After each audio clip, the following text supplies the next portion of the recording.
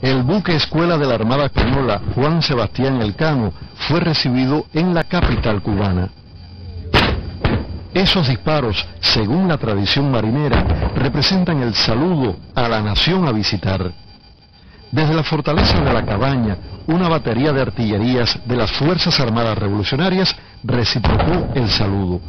21 salvas fueron lanzadas como señal de bienvenida. Este buque lleva el nombre del marino español que dio la vuelta al mundo por vez primera en 1522.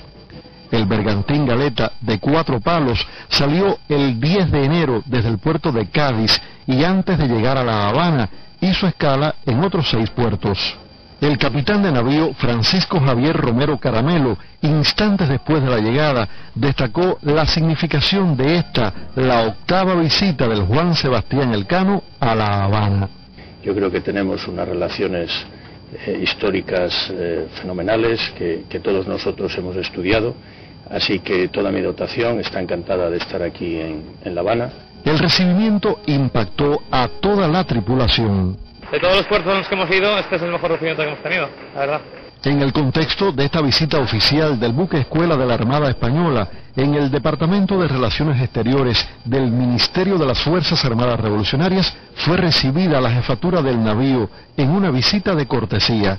El vicealmirante Pedro Pérez Betancur, jefe de la Marina de Guerra Revolucionaria, comentó la belleza de la embarcación, vista frente a las costas habaneras desde la tarde de este jueves. Con posterioridad, los distinguidos visitantes realizaron una visita de cortesía a la Casa de los Alcaldes de la capital.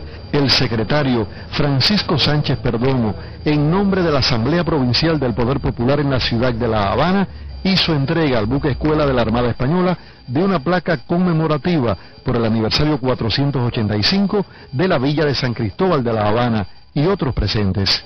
El buque escuela permanecerá en el puerto de La Habana hasta el 13 de mayo. La población puede visitarlo los días 9, 11 y 12 de mayo entre 11 de la mañana y 1 de la tarde y entre las 3 pasado meridiano y las 6. El domingo 10 de mayo el horario de visita será de 3 a 6 pasado meridiano.